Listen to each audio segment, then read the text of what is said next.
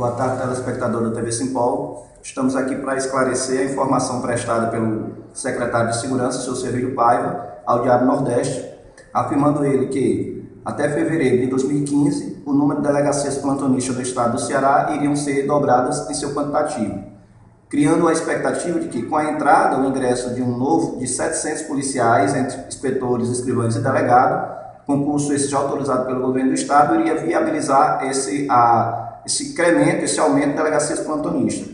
Queremos frisar que esse concurso, nós estamos, o sindicato está provocando o Ministério Público Estadual para acompanhar o andamento desse certame, haja visto a forma, pelo menos estranha, de dispensa de licitação da banca escolhida pelo governo do Estado, banca essa que tem indício de irregularidade em outros certames, e esclarecendo ainda que um concurso dessa natureza não dura menos do que um ano, 12 meses, mesmo porque só o curso de formação perdura em torno de 4 meses. Dessa forma, entendemos claramente que não há a menor possibilidade de que esse certame, mesmo que se desenvolva da sua forma natural, que esses profissionais já estejam trabalhando até fevereiro do próximo ano. Sendo assim, entendemos que vai ser inviável a promessa que foi feita pelo seu secretário de Segurança não, quer dizer o, o, aumento, o incremento, o dobro de delegacias funcionando em regime plantonista em todo o estado do Ceará. O efetivo da Polícia Civil é um dos menores do país. Hoje nós estamos cerca de menos de 300 delegados para todo o estado. O número de inspetores também é três vezes menor do que era na década de 80.